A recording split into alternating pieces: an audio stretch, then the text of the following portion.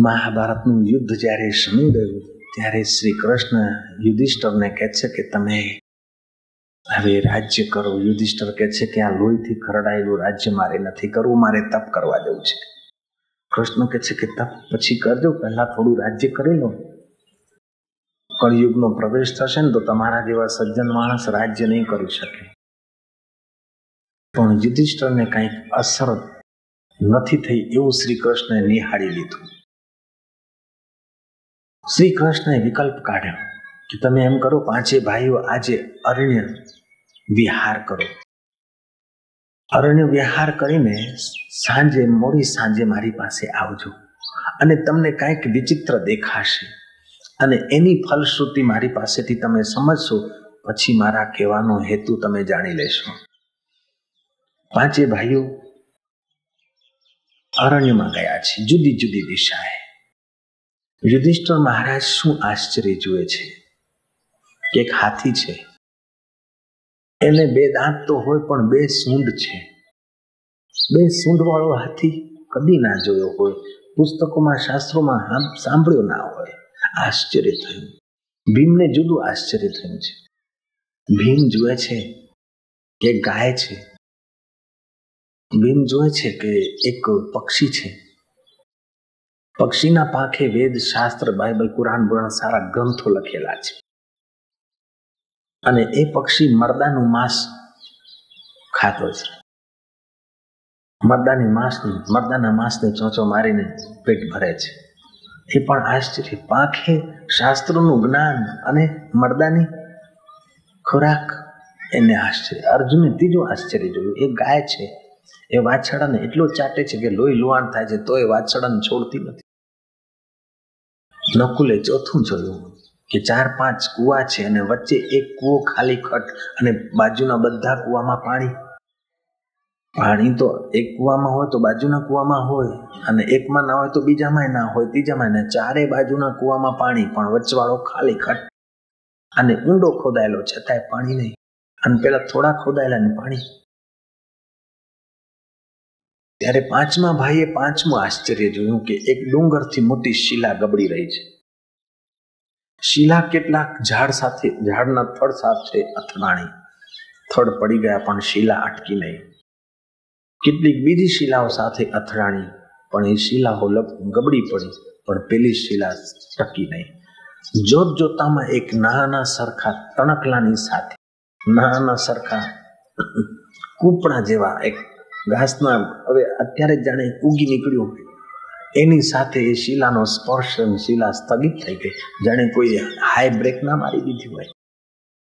પાંચે ભાઈઓ આવ્યા ને સાંજે શ્રી કૃષ્ણને આખી વાર્તા કહી કે આ આ આશ્ચર્ય, આનો અર્થ શું? પ્રભુ અમને સમજાતો નથી. ત્યારે શ્રી કૃષ્ણ સ્મિત વેરતા વેરતા કહે છે કે, યુધિષ્ઠર, આ કળયુગના ચિહ્નો છે. બે સૂંઢ વાળો હાથી એટલે કળયુગના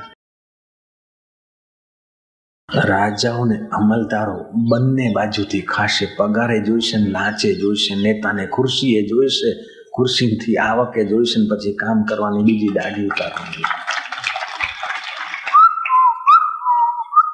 તમારું જે થાય થાય. અમારે તો પરદેશમાં જથ્થો કરવો છે. તમારું જે થાય, તે થાય. અમારે તો ખૂબ લીલા લહેર કરવા છે. કળયુગના રાજાઓ એવા થશે શ્રી કૃષ્ણ કહે છે, અને આપણને ઘણા દર્શન થાય છે. હું સ્વિટ્ઝરલેન્ડમાં ગયો ને મને કોઈએ બતાવ્યું કે, બાપજી, આ પાંચ મિલિયન ડોલરનો હાઉસ છે. કોઈ ગરીબ દેશનો નેતા છે અને હવા ખાવા માટે લીધો છે. પણ ઉંદરો હવા ખાય છે, બલાડીઓ ખાય છે, નોકરો ખાય છે, એ તો બિચારો આવી શકતો નથી. મેં કીધું, હવા ખાવા માટે પાંચ કરોડનો બંગલો તો રોટલા ખાવા માટે કેટલો અને રોટલા એને પચતા હશે કે કેમ એ પ્રશ્ન છે शक्कर खिला शक्कर मिले टक्कर खिला टक्कर मिले नेकी का बदला नेक है बदों को बदी देख ले इसे तू दुनिया मत समझ भैया ये सागर की मझधार है औरों का बेड़ा पार कर तो तेरा बेड़ा पार है બધા ભેગા નારાયણ નારાયણ, કહી દો, નારાયણ નારાયણ નારાયણ. શ્રી કૃષ્ણની વાત યુધિષ્ઠર મહારાજના ગળે ઉતરી. બીજું આશ્ચર્ય ભીમ કે છે, મારી વાત સાંભળો, મારી વાત. એક પક્ષી અને એના ઉપર શાસ્ત્રનું જ્ઞાન લખેલું પાંખે અને મરદાનું માંસ ખાય છે કે, હા, કળિયુગ આવશે. લોકો શાસ્ત્ર, પુરાણ, કુરાનની વાતો તો લાંબી લાંબી કરશે. પણ કોનું મરણ થાય છે ને બારમું ક્યાં છે ને અઢારમું ક્યાં છે ને? શ્રાદ્ધ ક્યાં છે ને? દક્ષિણા ક્યાં મળે? એવી વૃત્તિ બહુ રહેશે. ધર્મને ધંધો બનાવીને હાલતું રહેશે ગાડું. એવો કળયુગ આવશે, કોઈ વિરલા મહાપુરુષ મળશે. બાકી તો બધા એકબીજાની દાઢી ઉતારવામાં ધર્મનો ઉપયોગ કરશે. એ દેખાય છે જય શ્રી કૃષ્ણ, કેવું પડે હવે? કૃષ્ણ કનૈયા તમારી આવકનો દસમો ભાગ અમારી મિશનરીમાં મોકલી દો. પછી એ અમારે જે કરવું હોય તે કરી પણ આવકનો દસમો ભાગ દાન કરો તમે. દાન તો કરવું ગ્રસ્તીને જરૂરી છે. નહીં તો એના ધનની શુદ્ધિ નહીં.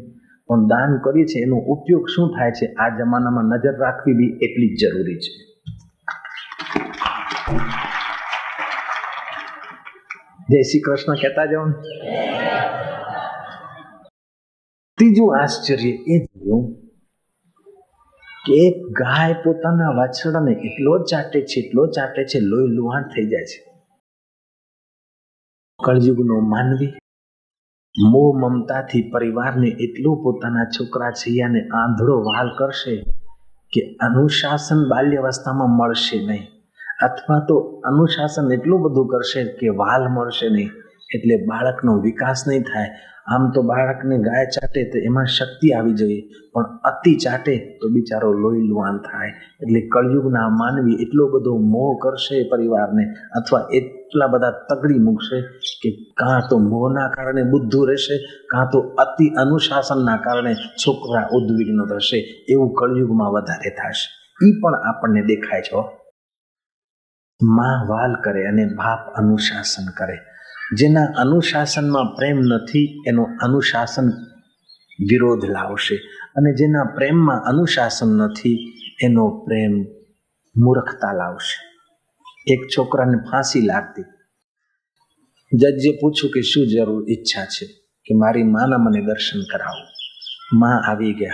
માને નજીક બોલાવ્યા. ફાંસો લટકે છે. એણે કૂદકો મારીને માનું એવી રીતે નાક ખેંચી લીધું. કે નાકનો એક ભાગ ટુકડો જુદો જ પડી હવે જેને ફાંસી લાગે છે એને બીજી સજા શું મળે? પણ પૂછ્યું કે આવું છેલ્લી વખતે કેમ કર્યું?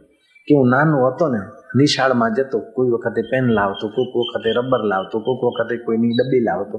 અને મારી મા મને ખૂબ વાલથી રાખતા ને ખાંડ આપતા ને ખવડાવતા ને પીવડાવતા. એટલે નાની નાની નાની નાની ભૂલથી અત્યારે હું ડાકુ થયો. જો નાની ભૂલ જો જડમૂળથી કાઢી મૂક્યો તો અત્યારે હું આ ફાંસી નહોતો એટલે ફાંસી ન્યાયાધીશ તમે નથી આપી, પણ મારા માએ આંધળો પ્રેમ કરીને મને ફાંસી આપી. તો કળિયુગનો માનવી આંધળો પ્રેમ કરીને બાળકોની ઉન્નતિ નહીં જોએ. એ કૌશલ્યાજી પોતાના રામને ગુરુકુળમાં મોકલે છે. દશરથજી ગુરુકુળમાં મોકલે છે રામ, લક્ષ્મણ, ભરત, શત્રુ. અને અત્યારે અઠવાડિયું કે ચાર દાડા બાલ શિબિર થતી હોય ને તો મા બાપને મોકલવાની ઈચ્છા હોય પણ મારા છોકરાનું શું થાય? મારા છોકરાનું થાય? તો બે હીરો પછી. સર્ટિફિકેટ લઈને રોટલા અર્થી કરો, વિદ્યાર્થી બનાવવા હોય તો શિબિરમાં મોકલવા પડે, તેજસ્વી કરવા તો શિબિરમાં મોકલવા પડે છોકરા. આપણે એવી શિબિરો કરીએ છીએ ને હવે તો પછી નો એડમિશન પણ લાગુ પડી ગયું છે. બહુ લોકો આવે છે. હજાર, બે હજાર, ત્રણ હજાર વિદ્યાર્થી રહી શકે. વધારે આવે છે એટલે પછી અલાવ નથી કરતા. પણ પહેલા મા બાપ બીતા હતા કે બાપજીને ત્યાં જશે, છોકરો બાવો તો નહીં થાય. લે અમેરિકા જાય તો છોકરાઓનો ફોટો આવે, પણ કોઈ ઋષિના આશ્રમમાં જઈને ચાર દિવસની સાધના કરીને તેજસ્વી થઈ આવ્યો હોય, તો બીક લાગે કે મારા છોકરું શું ખાશે? અરે, ઘરમાં ખાય છે ફાફડા ચટણી, એના કરતા સારું ખાય છે. કૃષ્ણ કનૈયા કેનેડાથી લોકો છોકરાઓ મોકલે છે. અમેરિકાના લોકો છોકરાઓ મોકલે છે ધ્યાન યોગ શિબિર ભરવા માટે. અને પછી અઠવાડિયા પછી ત્યાં જઈને ફાઇનલ પરીક્ષા આપતા હતું ફર્સ્ટ ક્લાસ આવે ને કેનેડા ગવર્મેન્ટ એમને સ્કોલરશિપ આપે. આવું બધું જાણવા છતાં પણ મારા છોકરાને ઠંડી લાગશે તો સારું બાપજીની શિબિરમાં બીજી વાર મોકલીશું. એ કળયુગનો પ્રભાવ આપણા માથે હો. જય શ્રી કૃષ્ણ. ત્રીજું આશ્ચર્ય, હવે ચોથું આશ્ચર્ય શું છે? કે ચારે બાજુ કુવા છે અને વચલો કુવો ખાલી છે. કળિયુગના માનવીઓ શેઠિયા શેઠિયા, નેતા નેતા, ધનવાન ધનવાન, ચારે બાજુ મજલસ કરશે, મોજ મજા માણશે. પણ આપણા ગામમાં કોઈના પેટનો ખાડો ઊંડો હશે તો એના તરફ ધ્યાન નહીં રાખે ને ફાલતુ ખર્ચો કરશે.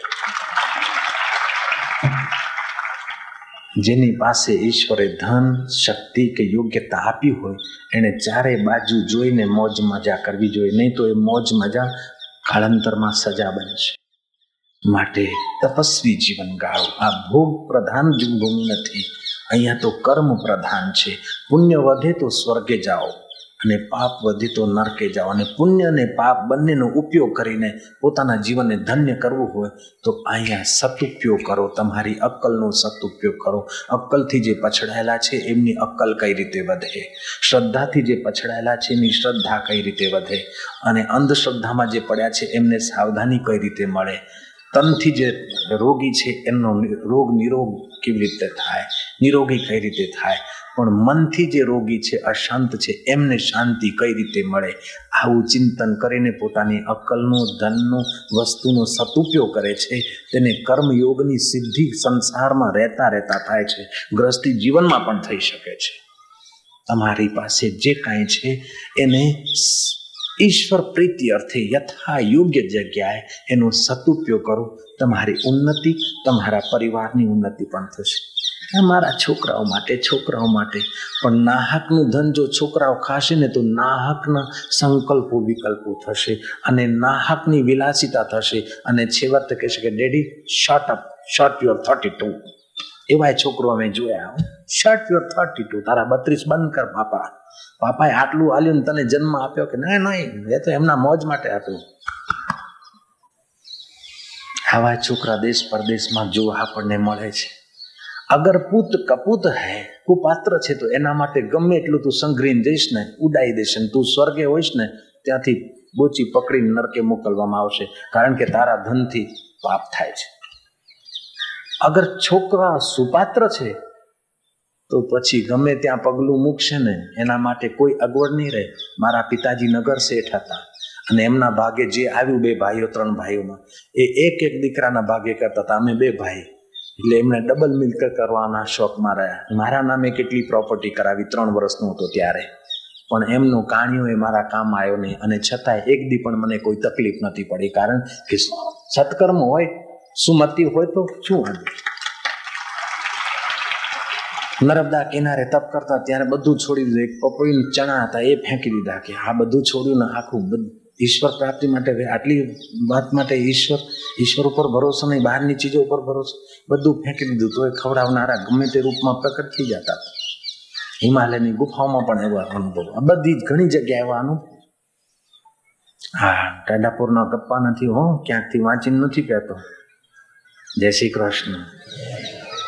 અનુભવની વાત કરું છું. હવે પાંચમું આશ્ચર્ય શું છે? શિલા ગબડતી ગબડતી આવી, થડ સાથે ટકરાણી વૃક્ષ પડ્યા. ચટ્ટાન સાથે બીજી શિલા સાથે ટકરાણી, એ ચટ્ટાન ગબડી. પણ પેલી શિલા ઊભી જ નથી રહેતી. એવું ડુંગરથી તટરાટ દ્રશ્ય જોયું. સહદેવે, ભગવાન સ્મિત વેરતા ગંભીર વાણીમાં બોલ્યા યુધિષ્ઠર ધ્યાનથી સાંભળો. કળયુગમાં મોટા મોટા સત્તાના થડ પણ આ ગબડતા જીવને શાંતિ નહીં આપી શકે. જય શ્રી કૃષ્ણ. મોટી મોટી ખુરશીઓના થડ હશે ને, એકબીજાના સહારા કે મારા પક્ષમાં આઠ એમએલએ છે અને પંદર એમપી છે. છતાંય જ્યારે અશાંતિ હશે ને, ત્યારે પચીસ પચીસ એમએલએ ચાલીસ ચાલીસ એમએલએ જેમના પક્ષમાં એમને પણ એમનું મન જ્યારે ગબડે છે ત્યારે શાંતિ એ મોટા થળ આપી શકતા નથી એવું તમે બધા જાણો છો. જે ન જાણતા હોય હાથ ઊંચો કરે. ડઝનોના ડઝનો એમપી જેમના પક્ષમાં હોય અને કેટલાક ડઝનો એમએલએ જેમના પક્ષમાં હોય એકાદ અડધો ડઝન મિનિસ્ટરો જેમના પક્ષમાં હોય, એવા લોકોની ખુરશી હલતી હોય ને ત્યારે ઊંઘ ના આવેલો સોલંકી તો પ્રત્યક્ષ છે જ. જય શ્રી કૃષ્ણ. એવા બીજા કેટલા હશે આ દેશમાં, પરદેશમાં બધે. મને કોઈ પાર્ટી માટે દ્વેષ કે આદર, અનાદર નથી. બધા જ મારા પરમાત્માના બાળકો છે. પણ આ યુગનો પ્રભાવ કહું છું. કે ગમે એટલા સત્તાના થળ તમે લઈ આવશો ને તો ગબડતા મનને થળ સત્તાના નહીં રોકી શકે. મન ગબડતું આવશે વિકારોમાં, અશાંતિમાં. અને ગમે એટલા ધનના ડુંગરો અથડાશે ને તોય મન ગબડશે. પણ જ્યારે રામ નામનું નાનકડું પુષ્પ પણ સ્પર્શ કરશે, હરિકીર્તનનો જરાક સત્સંગનો સ્પર્શ થશે તો એ પડતું મન અટકી જશે બેડો પાર. સત્સંગનું નાનકડું તણખલું મળશે ને તો પડતું મન તમારું સ્થિર થશે. યુધિષ્ઠર આ પાંચ આશ્ચર્ય મેં કલયુગના તમને વર્ણવી બતાવ્યા યત ઈચ્છસી તત્કરું